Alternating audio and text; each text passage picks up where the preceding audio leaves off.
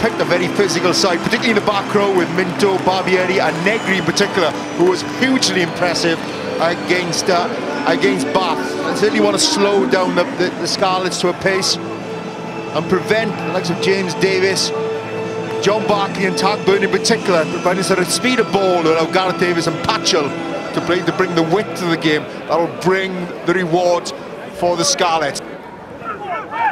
Good line-out take by Tadhg Beirne, and here is a chance stop for the Scarlets. Oh, Scarlets pizzazz right from the off, and it's Gareth Davies. Well, there's the footwork that Ryan Evans was talking about in his conversation with Alex Payne before the game. And now James Davies for Gareth. Oh, this is this is too easy. And hitting the ball at pace. And now it's the Scarlets' turn to threaten this Benetton line. This is a tackle from Minto.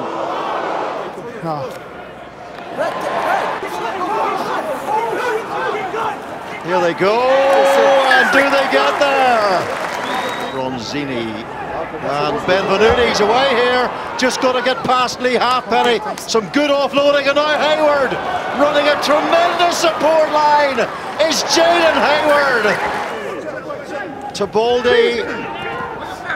Benvenuti, Esposito, a man who really, truly deserves a try Tebaldi. Here is Ruzza. Ruzza plunges for the line.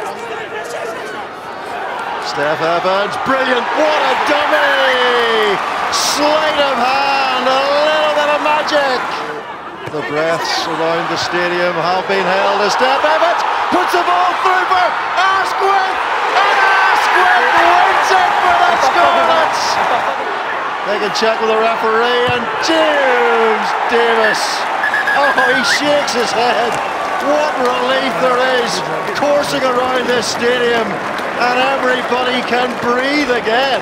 Well, if you haven't enjoyed how that game ended up with them and the, the entertainment in the end, then you haven't got a heart and soul. That was sensational.